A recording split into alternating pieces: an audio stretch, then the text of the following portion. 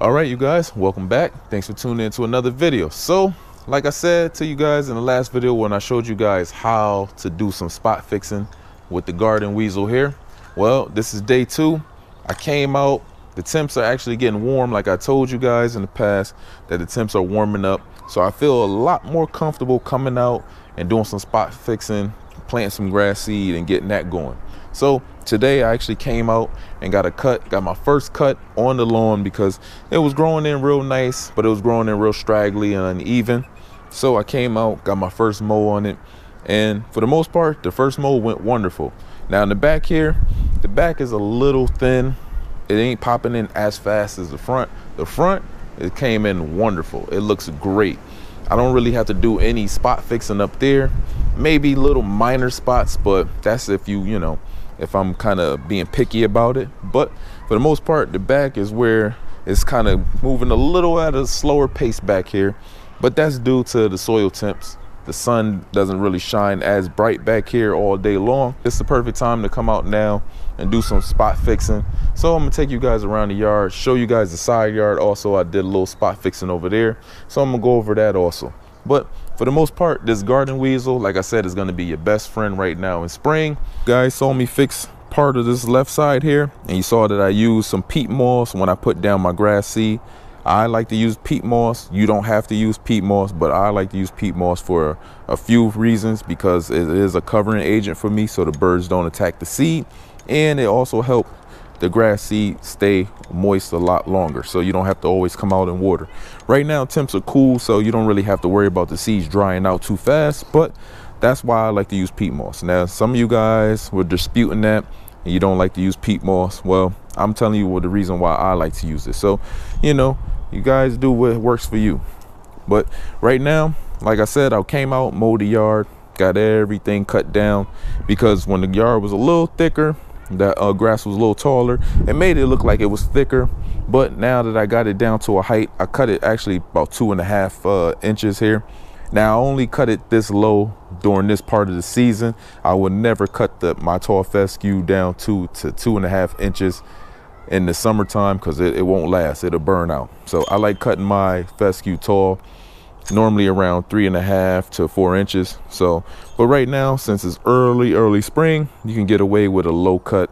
But that's the um the only reason why i cut it this low is because now i can see the whole yard and see a lot of the imperfections in the yard. Now this side over here, it's popping in real nice. As you guys can see it's turning really really green. I'm very proud with this side but this is where the sun normally hits at from this uh, angle here that i'm pointing with the garden weasel so this side gets a lot more sun and it pops in a lot faster. So that side is actually ready to go.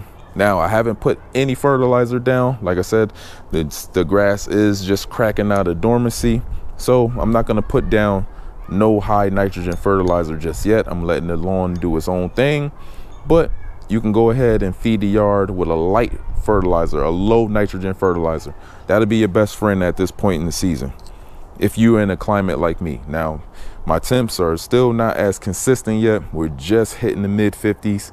I'm gonna get some uh, 60 degree days later on this week, but you don't wanna push too much growth too fast going down with the big boy fertilizer just yet. So that's just a little quick tip there. So, but right now, this area right here is coming in very, very slow.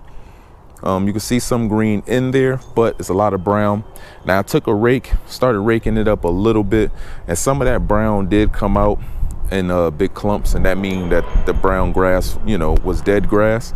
But some of the grass stayed. Now, brown doesn't always mean that the grass is dead. It just means that it's still kind of dormant. It didn't pop back in yet. But if you take a light rake, like a fine tine rake, and you rake it lightly and it does pull out, then yes, it was dead. So I'm gonna go ahead, this area is a little on the thin side, so I'm gonna go ahead and use this garden weasel, break up the soil a little bit, throw down some uh, some grass seed, and just let it do its thing, because this side I want to thicken up a little bit more. So, all right, you guys, so got my grass seed there. So this is the spot that I'm gonna be working in. This spot was a little on the thinner side after I did that little light rake. Some of the dead grass, some of this stuff came up some of the brown grass is still there. That means it's dormant. and it got a nice root system. So it will pop back in green eventually. But when I was raking it did take up some of them little spots. So it's on the thinner side so I want to go ahead and correct that right now. So like I said you're going to use one of these garden weasels and it's very very simple. Like I said anybody can do it. It's not a lot of not a lot of force or pressure needed just going to take it and roll it back and forth roll it back and forth to break up the soil. And like I said you don't it doesn't take a lot. So now that I'm breaking the soil up I can go ahead take some grass seed and throw it down. Now today I won't be using the peat moss in this area because it's surrounded by grass and I really don't need the peat moss right here as a covering agent or keeping it moist. But if you guys got the bare spot like I showed you in the first video, peat moss is a wonderful option. Now, if you guys are on a little hill or anything, then you might want to use something else to keep the seed in place. And I would recommend maybe straw or something of that nature. Straw with tackifier. Tackifier is like a little, it's like a little sticky agent that'll help once the straw gets wet it'll help keep the straw in place which will help keep the grass seed in place. So as you guys can see threw down the grass seed now all i'm gonna do right now is just roll it in.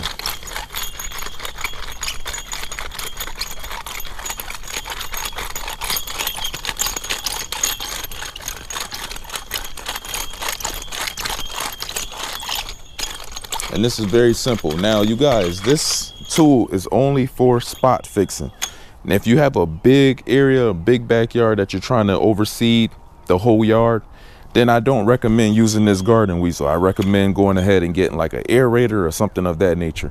Even um, a dethatcher. You can dethatch the yard and overseed. This right here would be a lot of work trying to manually like do this uh, garden weasel on the whole yard. I don't recommend it, but I mean, if you guys want to, you can. Just take your time. If you guys got a lot of time, you can definitely use this garden weasel, but it's gonna take you a lot longer. And just make sure if you are gonna use it, don't put your body under a lot of physical stress. Don't cause no physical harm to yourself trying to get the yard up to up to par. You know, this this will do the job but for bigger, bigger jobs, I don't recommend it. This is only for spot fixing. If you got little spot fixes that you need to use or you want to actually thicken up like I'm doing right now, you can also use this garden weasel inside the gardens. If you're trying to plant stuff, this would help this will help you out big time. So that's just a little little food for thought there, you guys. Don't go out there in the whole yard to say, I'm gonna use this garden weasel on 3,000 square feet or something of that nature. It might not turn out too well for you guys. But as you guys see, once I rolled it in, now I'm just patting it down just to make sure I get good seed to soil contact. And this spot is all set. So let's go ahead and show you the side of the house and how that's actually turning out. But as you guys can see, this little area is done now all you need to do now is just keep it moist water water water 14 to 21 days you'll start seeing little grass seeds little uh, grass seeds germinating. And by like i said 21 to 28 days you should be able to start feeding the lawn cutting it regularly and moving on. So let's go ahead to the side of the house and let me show you guys how that's actually looking. Last year i went out I garden tilled this whole yard, broke the soil up on this side of the house and planted some grass seed down. And for the most part, it started to grow in real nice. Actually came out by the end of the season, got a nice cut on it. But as you guys can see, early spring here, well, after winter, early spring, this is the results. It's not looking too good. So I'm going ahead and I went ahead and started to break up some of the soil with the grass seed I mean with the garden weasel right here. Threw some seed down, rolled it in. Now on this little side yard, it was fine. The soil wasn't too bad, it was soft. So I was able to use the garden weasel here on this side. But like I said, if you guys got a big, large, large area, I would not recommend using the garden weasel go ahead and get something like an aerator. If you guys can't do an aerator on your on your own, then you might have to have somebody like a lawn service come out, aerate the yard and oversee for you. But this is just strictly for little patches, little spot fixing, and you know, you'll get the job done. But this is what I want to show you guys. I know a lot of you asked how it actually turned out, and this is how it looks so far. So, so far, not too good looking, but we're gonna give it some time. Like I said, I came out, started fixing it up a little bit, throwing some seed down. So we're gonna see how it's gonna look in 20, 20, about 21 days and see if I can actually get this side yard up to par. Now, since like I said, that, that tree is gone, I should get a little bit more sunshine over here. So that should help out this side yard a little bit better. But I don't know. It's gonna be a big challenge to get this actual uh, grass to actually grow on this side all season long. So I hope you guys enjoyed today's video. Let me know in the comment section what you guys are planning to do this spring are you guys using this garden weasel method and doing a little spot fixing or are you guys doing a whole lawn renovation? Let me know in the comment section. Um, let me know also how you think my lawn is turning out also. I think it's turning out pretty well besides the little patch fixing that I'm doing right now. But hopefully by May, everything will be popped back in looking good and we'll be ready to roll. So, but let me know in the comment section about that. Also, like the video, subscribe to the channel if you guys want to stay in tune with me all season long and see the results or if you just want some little form of entertainment. So hope you guys enjoy take care and get in that lawn and fix it up. So i'll see you again